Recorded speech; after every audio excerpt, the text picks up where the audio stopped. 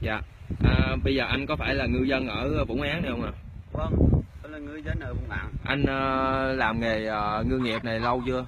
Ông uh, sinh ra lớn lên thì sống cũng ông ba cha mẹ cho đến như sống ở dân biển ấy chứ. Dạ. À, từ lúc mà xảy ra mà thảm họa cá chết đó thì ờ, gia đình mình sống bằng cái nghề gì anh? Chẳng có nghề gì sống ăn lang thang chứ từ xưa đến giờ đâu có ruộng làm đâu. Dạ. Chỉ có làm đến mặt biển không? Dạ rồi con cái mình đó thì ờ, học hành như thế nào?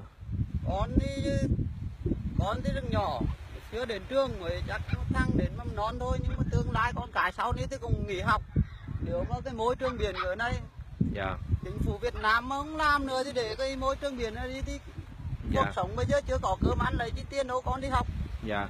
À, thì ờ, và anh thấy ờ, em thấy ờ, Formosa phía sau lưng anh thì nó vẫn còn hoạt động.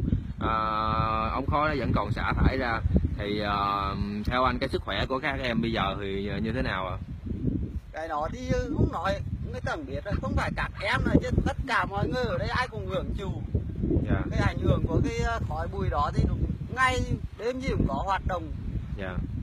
Sức khỏe người thì đúng thiếu trầm trọng rồi. Thôi dạ Ờ, cái ờ, sức khỏe rồi cái ờ, cái công việc mình như vậy thì ờ, theo anh nó anh mong muốn ờ, nhà nước mình sẽ giải quyết cái vấn đề Formosa này như thế nào? Bây giờ số của xã này tốt nhất thì chỉ có là cho nghỉ thôi chứ. Cho Dạ. nghỉ bắt đầu khi ở cái đất Việt Nam với con người dân Việt Nam thì mới sống được. Dạ. Còn nó cứ hoạt động như vậy là tức là cái chính phủ Việt Nam mà cứ để vậy là đưa con người Việt Nam này vào chỗ chết mà thôi. Dạ. Chứ không có thể sống được đâu dạ. Mới có một lần mới xả được à? Nó có 4 tháng bây giờ đúng là như tôi đây cái chứ hai đứa con hai vợ chồng bây giờ cứ ăn chơi lang thang vậy thôi. Dạ.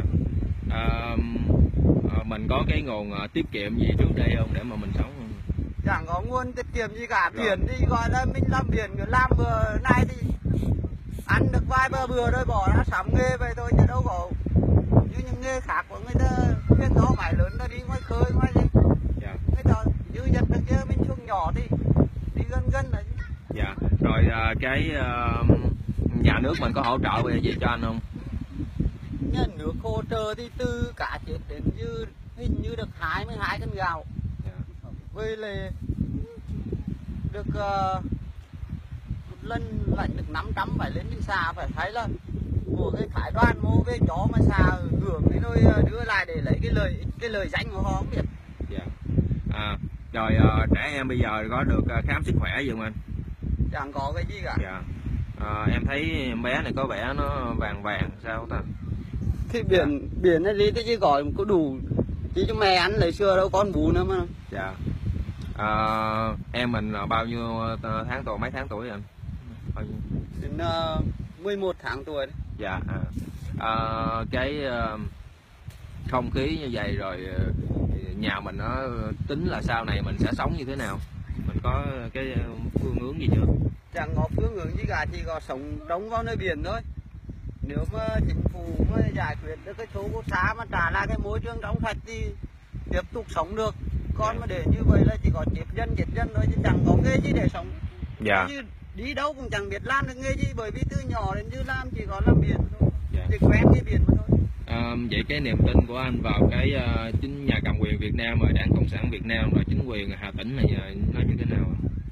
Bây giờ một trăm phần trăm riêng về cá nhân tôi riêng về chính phủ Việt Nam vì đảng cộng sản Việt Nam cầm quyền thông tin nữa. Dạ. Trăm phần trăm không tin. Bởi vì nói rất nhiều rồi nói rất hay nhưng mà không thực hiện. Dạ. Từ Ờ, xưa đến như là bốn năm tháng trời mới dòm dân này, chẳng có một lời thăm hỏi từ xa đến huyện đến tỉnh. Mà ở đâu được một lần được hai mươi mấy cái gạo đó đến bây giờ?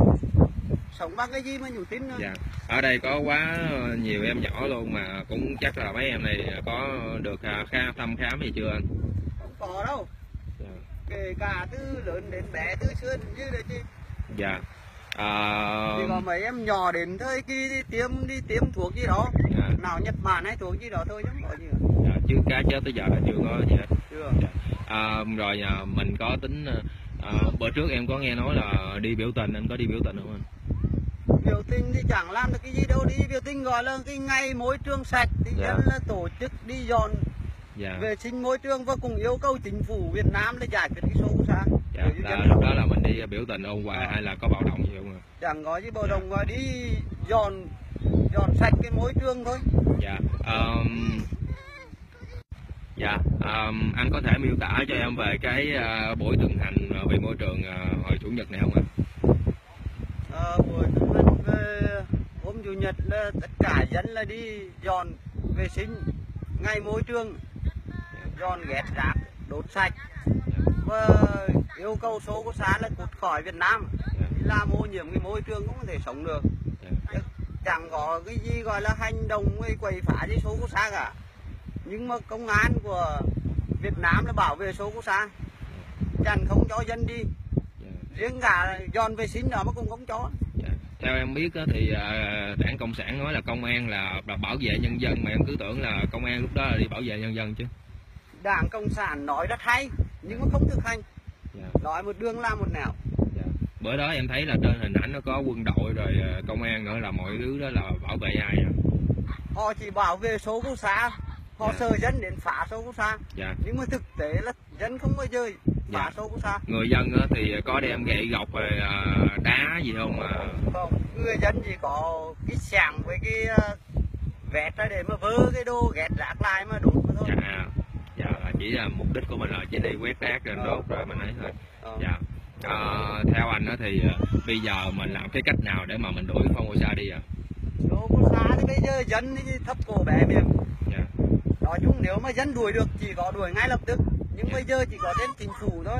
Dạ. Nhưng mà chính phủ mà giờ cứ nói chứ không bao giờ thực hành được thì chỉ có đưa cái dân vào chỗ chết. Theo anh cái mức đền bù 500 triệu đô la đó có đầy đủ không à 500 triệu đô la cho đền bù bao nhiêu nó chẳng thấm vào đâu. Dạ. Bởi vì cái môi trường sống của người ta sống dân sống từ xưa đến giờ sống về biển mà. Dạ. đền bù như vậy thì sống được bao nhiêu được mấy tháng? Dạ. Được mấy ngày? Dạ rồi em cảm ơn anh ạ. Tôi không chấp nhận cái đền bù đó chỉ có ai ai lãnh cái tiền đó mà ai chấp nhận thôi. Dạ. Cái, cái tiền đó đền bù là tức là dân chúng tôi bị thiệt mà. Dạ. thì chúng tôi phải có quyền có nhận hay không là chúng tôi nhận chứ. Dạ. chúng tôi có quyền nhận chúng tôi có quyền ký chứ. Nhưng mà chúng tôi chẳng biết gì cả. Ở đâu trên chính phủ hết á